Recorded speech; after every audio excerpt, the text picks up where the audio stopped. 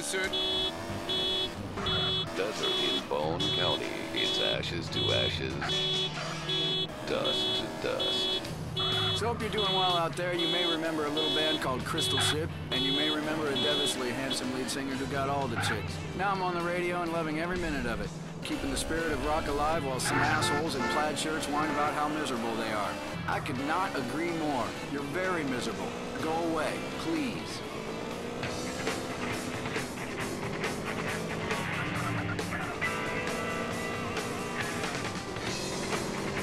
Here on KDST, where we're all a little foggy in the head. Be careful out there.